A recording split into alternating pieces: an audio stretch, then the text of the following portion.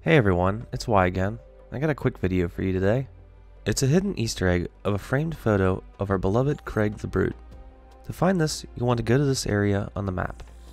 It's right by the elevator that takes you up to the West AA gun.